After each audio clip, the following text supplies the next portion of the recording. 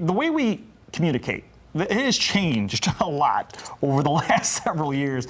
Many people rarely even actually make a phone call. So it makes sense that organizations and businesses are changing the way they do things as well. Yeah, Be Nice, the Mental Health Foundation of West Michigan, has partnered with the Crisis Text Line to provide another way for someone who's struggling to get help. Welcome to Christy Buck to share more about this new partnership. Christy, thank you so much for being with us. Great to be here and let people know of this new endeavor that we have going. Yeah. It's all good. Well, it's something that you had brought up that spring is actually the most common time for people to take their own lives. It has a high number. The, the rate of suicide does increase during the springtime months. And this is in part due to um, depression, and depression, the illness, and people not going out and getting treatment and help. So during the wintertime, many of us struggle with you know depression, what we call SAD, seasonal affective disorder.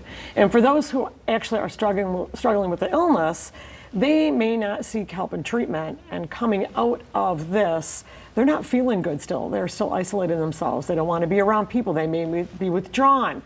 And at that point, they may be contemplating taking their life. In addition, there is a lot of research that goes into inflammation in the brain and with inflammation can come depression. And inflammation many times is due to allergies.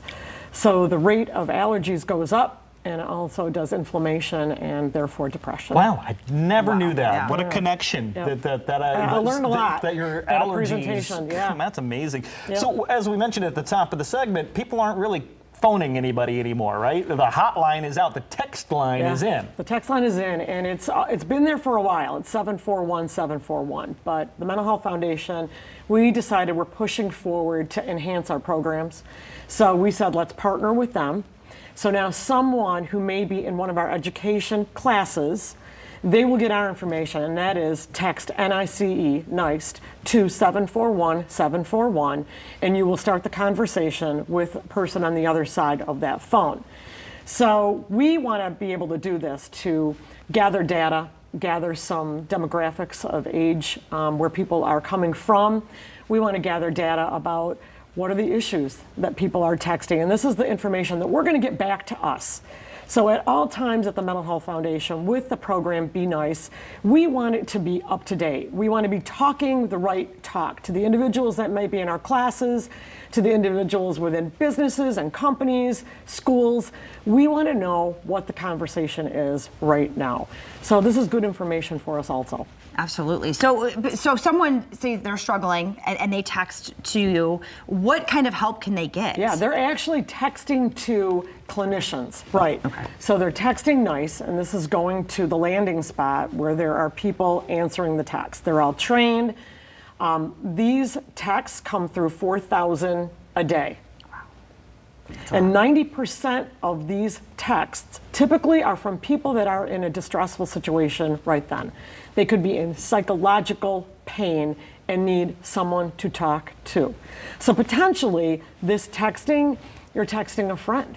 And maybe it's at three o'clock in the morning. And I'll be honest with you, a lot of times that's where anxiety, that psychological pain, can be the most prevalent is during those late hours where you may not have a real friend right. to text. And uh, so, and we, what you mentioned is talking to talk. Yeah. Uh, is, do you find that texting might actually remove a barrier because some people might be a little oh, yeah. too ashamed or shy or distraught to it. actually verbalize how they're feeling, but texting it might be simpler. For sure. And we know this, right? And this is why being here today with you both, reiterating that people might not have that knowledge base that that's what's going on. And that's why people that are listening today, today encourage a loved one to have that text in their phone. Mm. Be ready. Everybody should be ready because we know that the rates of depression and anxiety have all risen over the past two years. It's a fact.